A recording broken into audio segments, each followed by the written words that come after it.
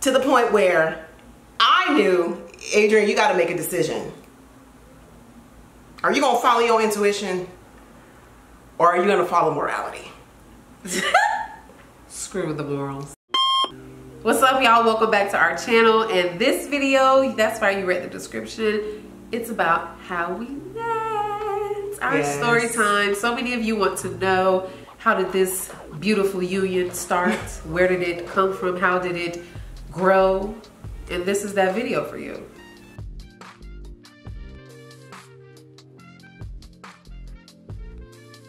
Yes, a lot of y'all on our TikTok, the muses, have been asking how we met, how long have we been together, and so this video is specifically for you. And also, if you already know our story, we're just gonna be completely and blunt honest this time. Um, something we've never actually done, we've always left out pieces to protect people. Um, But I think it's just time. But it's time for us to walk in our truth. That's right. Uh, that's so- what this is about. Walking in our truth and, you know, being honest. So, hey, right. So, it is what it is. Listen, we're gonna tell y'all a little bit how we manifested our love. Uh, with this strong disclaimer. I know a lot of you guys are, are asking for love spells and how do I um, how do I make someone love me or how do I find the love of my life? I believe that everyone should follow your own intuition, your own spiritual path, your own journey. But if you're asking my opinion, I don't think that putting a love spell on someone or putting some sort of manifesting energy um, like that because sometimes you can tie people to you that You don't want to be tied to no more. thank you. Yeah. So one thing about it, two things for sure. If you do a love spell on somebody and y'all break up because you know it don't always last, you still with them. Yeah, that's so true. That is so true. So before we start getting into this video, make sure y'all subscribe to our channel if you are not already and hit that notification bell so that you know every time we drop a video. Because you know, sometimes we might be off schedule and just drop an extra video just because. Never know. You never know. y'all. Never know. Never know. Okay, so let's get the the stuff out of the way first. Let's get the easy stuff out of the way first. We're both Aquarians. Yes. Um, We're both originally from from Florida. Florida. We currently now reside and have been lived in Los Angeles for seven, Seven years. years since 2014. Absolutely. I have two two daughters and when she came into our life, which was nine years ago, they, were, very young. They I were want to say like seven. seven and nine. Yeah, Yeah. six and eight, seven and nine, something, Something like like that. Um, so the, the girls were very young. They were in elementary school. So, I remember those days. I know, they're teenagers. No, they're adults now. They're adults. 17, 19. So y'all already know what type of time it is over here. So just make sure y'all send positive energy for us to help us get through the attitudes.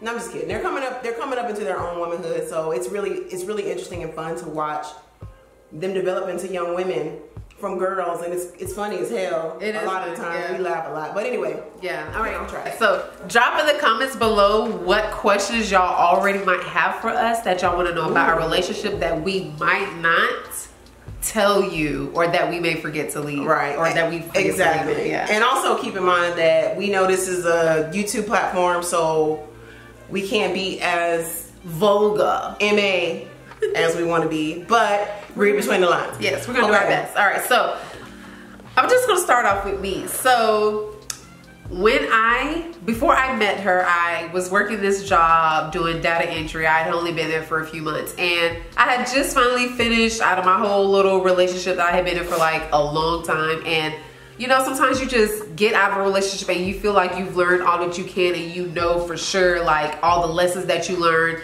I know what it is that I want now, and I just was really tired of being in the same circle and repeating the same pattern. So I was at my desk.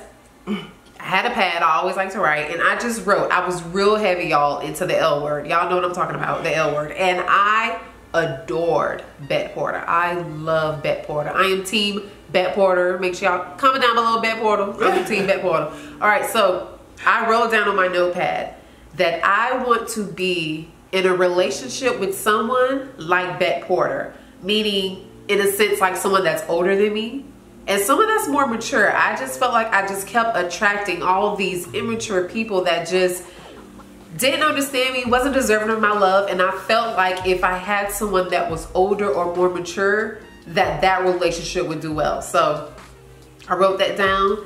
I have to time it to say two weeks later, I went to a little party, a Super Bowl party with my friend, and I saw her come into the room. You know, I guess now that I'm with her, so you know, she was supposed to be a little player, you know, had her little girls or whatever, had a few of them with her, but I only saw her and I saw her from across the room and I was like, oh my God, there she is. There, there she is. and I could not take my eyes off of her. Something was pulling me towards her and I was like, I don't know what it is, but I have to know who she is. And I was asking my friend, I was like, who is that? Who is that? And all she told me was, okay, you had a house or like this little organization and my friend was a dancer and she recruited my friend to be a dancer in her organization. So my friend was like, oh, that's Mama Bear or the leader of our House of Adini. So you was the mama. Yeah. So y'all y'all watch Pose. So yeah. it was like the it was like a a version, a house version of that. Yeah. So she she was the leader, and I I was definitely following. yes, I definitely was, and I I could not take my hands off you. So from, hands. No, sorry, I could That's not. We'll get there. right. I could not take my eyes off of you, and I have to say, I knew I needed to start to put my plan into motion. So. Yeah, I mean, I won't say I stalked you, but I definitely planned to have you in my life. But, you know, I didn't even know what you was dealing with. You know, but you could tell them. Okay, so here's my side. That's very interesting to hear that because there was a part of that I'd never actually heard before. That was new. So it's new to me. um, I definitely was in a situation, ship. Um, I had just ended a two-year relationship with um, with a girl who actually we, we ended it on great terms. We were friends for a long time. And uh, after we broke up, and we broke up and I was wilding out. You know what I'm saying? Sometimes after a relationship, you know what I'm saying, gotta gotta let it out. You gotta get it out. So you gotta hit the streets, as the kids say these days. Um, in, the in them streets. Oh, you was. There. I was in the streets heavy. um, my nickname was AD uh, back in Duval. And Why you gotta say like that, AD? Because the country come out when I started talking about Jacksonville, Florida. no, I'm just kidding. Um, but no, I was like really, really like in the streets dating. So one day we like went to Atlanta with my sister or something. We met this girl. She was lit, I was lit, and went back to the hotel. It is what it is. Drunken nights, young. I don't have any regrets. Then I ain't gonna lie, I think it was kind of like a rebound situation from the two year relationship. We just started to talk more and more. And honestly, I moved her from Atlanta to Jacksonville, and we ended up living together, um, but only for like two months. So let's let's do the storyline. Okay, hold on. Let's back up. Let's back up. Let's back up. January was the, the Super, Super Bowl party. Okay, my intuition did the exact same thing with hers at the exact same time. As I was walking in the barbershop where the Super Bowl party was, it's a big barbershop, and I had all my, my, my friends with me and we walked in. I'm talking, it had to be at least 60 people, 70 people yeah, in this room. Like, like yeah. it just spanned. So if you know me, you see I'm wearing glasses. If I don't have these glasses on, I can't, she see. see y'all. She can't see. Okay, so she was at least like across the room. It was. Like, it was your energy. Something about she was sitting down. I did not see her body. I could not see her face because yeah, she had, had a hat, on. And then she I had, had a, a long wig. All I could see was a black hat, long wigs, and sitting down. She was surrounded her. She was sitting in a barber chair, and everyone was surrounding her. And honestly, I was leaving with two of the girls that I came in with, but I did not care. I would have dropped. Who who is that? So whoever her friend is, we'll leave the names out of it who was in my house, there were some there were some lies told um, later because certain individuals didn't really want to see us together. Yeah. So the same person that she was asking, who who am I?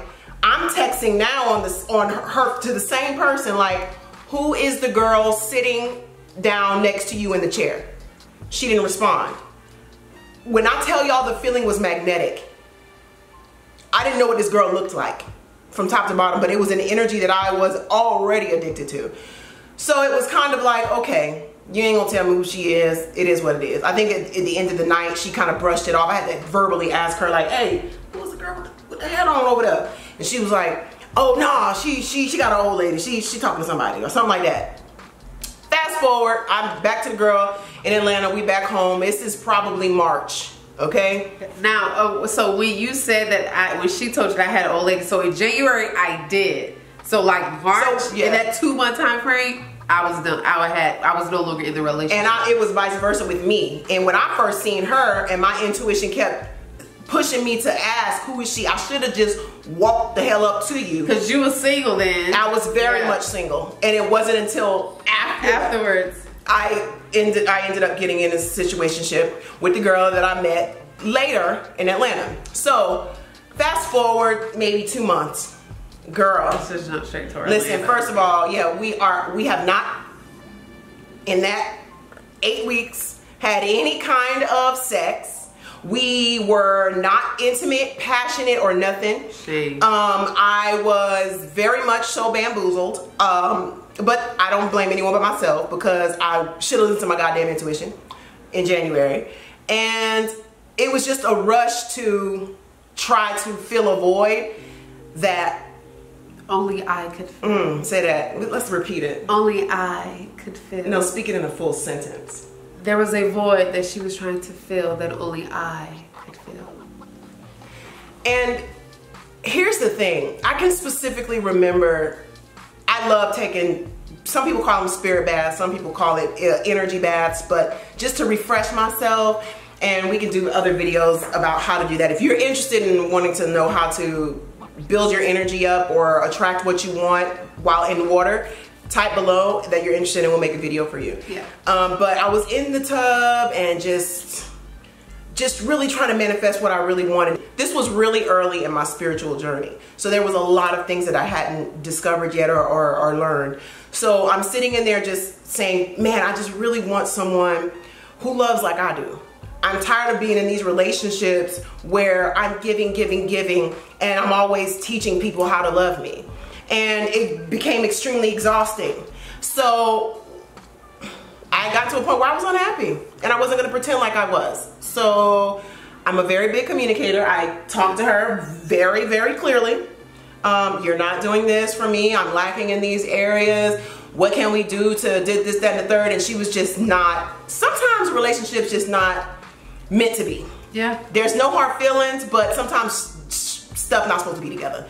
All right, so going, we in Orlando at, at an event that Yeah, so we're at a at an event where your, the friend, the yes, girl. my friend who was a part of her house was dancing. So well, I, let's let's recap. The friend that said that she was in a relationship to me. What did she tell you when you asked about me?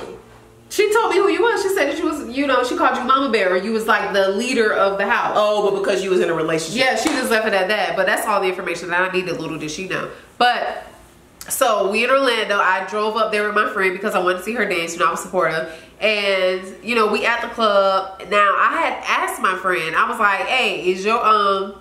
Is, I asked her was she coming? She was like, nah, nah, she not coming. She was like, so you know, but she gave me Because the girl the- I was with was hating. I remember specifically. She was hating and being mad because I because I had to go to Orlando, which is weird because what I'm saying here for we so yeah, so my friend was like, nah, nah, nah, she ain't coming, but she gave me, you know, all the instructions and stuff, so I know what I'm doing. I'm here. I was like, oh man, I was bummed.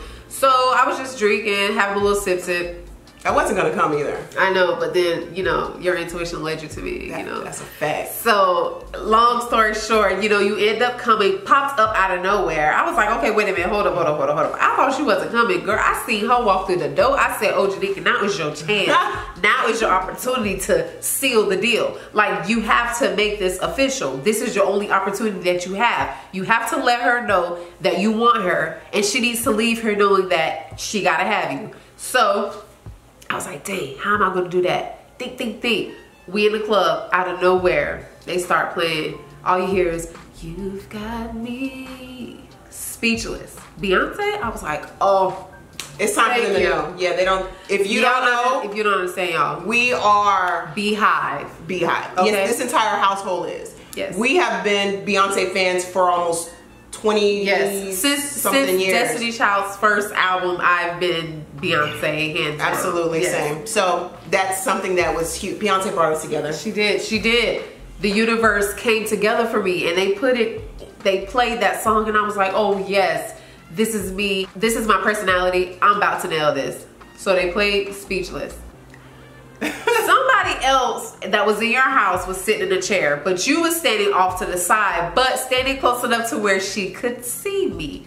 So I pretty much give the best lap dance I've ever given in my entire life. Not But to me. Not to her. Because I knew that you had a girlfriend. Right, I was public. Yes, I knew. So I was like, so I can't be disrespectful because I'm not the kind of girl. But I mean, I in the past I have been a little bit disrespectful, but in that time frame I, I wasn't. But I was like, I have to let her know that I'm doing this dance for her. So the whole time I'm dancing on her friend, not my friend, the other girl that was in your house. The whole time I'm dancing on her, I'm looking at you. And it was so obvious, y'all. I need y'all, she ain't telling the story right. They played Beyonce for only the universe knows why. The when she started slow dancing on the other friend that was in our, that was in our house, the entire club stopped. She shut it down. Every all eyes was on Janika, and I'm talking about this was a pride event. Uh, it was so it was so obvious that she was dancing for me without dancing on me that I had at least three of my friends come up behind my ear and be like, um, "She wants you." That's for you, or or why she staring at you like that? Like it was clearly evident to the point where I knew, Adrian, you got to make a decision.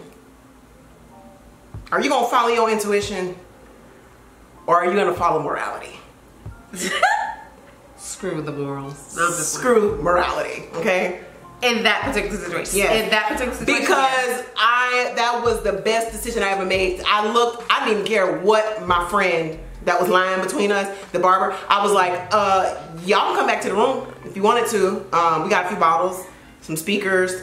Not to like necessarily cheat, but to just keep I needed the to. I needed to I See needed to see more. more. Yeah. I needed to feel who this girl was. Keep in mind, please understand this, because the end is hilarious.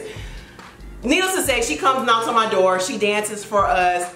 I'm completely enthralled. She, we- the night's ending at the hotel. It's a great night, and then all of a sudden, she's in the bathroom. I'm in the bathroom at the same time, and I have to use the restroom, and she's not leaving the restroom. She's not. My friend was in trying to cop block, which I didn't understand why. But after we're out of the situation, come to find out, my friend who was part of her house told her And everyone in the house that I was her girlfriend. for a long time. So I'm wondering why she trying to cop like me, and I'm like, girl, Yeah, and I'm- messing up my plan, bro. Ooh. Which is why I wasn't gonna be like, oh, come to the room and let's. I wasn't finna, cause in my mind, you was talking to the girl. So I was telling her, like, oh, well, y'all talking, you know what I'm saying? Y'all come back to the room.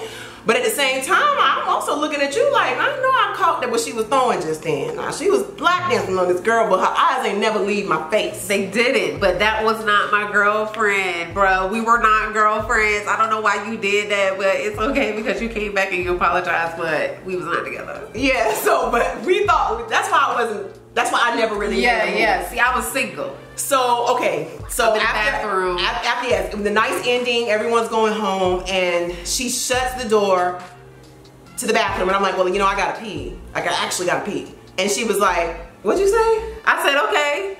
I said, you ain't got nothing I ain't never seen before. Go ahead, pop a squat. I mean, grown. I'm with it to pop squat. okay. I decided not to use the restroom and give the two girls, her included, their privacy. As I was shutting the door to leave, we both caught each other in the mirror. Now, this is how manifestation and intuition is so strong in your life, in mine at least. There was to this day such a knowing and such a feeling and such a strong, powerful energy from the way she stared at me in that mirror for just a split second as I was like closing the door. It was like, I remember I shut the door and I stared into out, I like I was zoned out like, in that zoned out section of time, I saw her life together. I saw our entire life. and I knew from the time I left that bathroom to the time I got back in my bed, you was gonna be my wife, not my girlfriend. I never wanted to get married. Not my girlfriend, not nothing. I knew I would spend the rest of my life with you. That if and if you don't know about in, intuition and the, and the, importance of following your intuition, check out our last video. Yeah, that we just talked more in depth about that. But when I tell you, it was a knowing. I knew that I would know you for the rest of my life, or at least I was gonna fight to try to be in your life some kind of way. Yeah, it was an energy that was inseparable.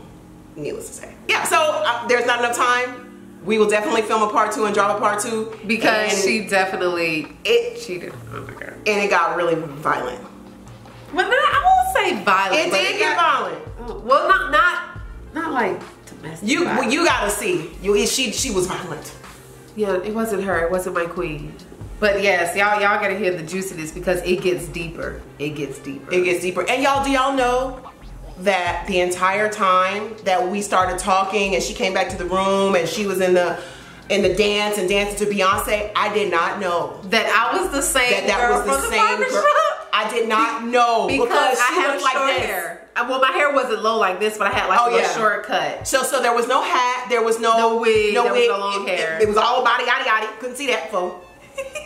Cause, but I sure was like, oh, is she? Like, god damn. I just didn't realize that was the same intuition that, that I felt in the barbershop. Like, yeah. who is she? And I was the same girl. She didn't find it out till like months to, to months, months, after months we got together. together. So months, she brought it up laying in the bed after we was already together, and she was like, "Oh my god!" Like, remember the barbershop? I was like, "What barbershop?" she was like, "Girl, I was trying to talk to you back at the barbershop." I was like, "What barbershop?" She was like, "At the at the Super Bowl party." I ran out the room. I could not believe that I had manifested this woman in my life from the tub, from the fuck, from the from the party. Anyway, y'all gotta hear how part two is. In the part one, part two, even more juicier. Thank y'all for sticking to us. Make sure you comment, like, share, subscribe, hit the notification button so you can see our other videos that we already got planned to drop. Yes, and watch all of our other videos, y'all. We have so many more videos for y'all to see. Like, you won't believe. But yes, until the next time, stay tuned and we'll see y'all later.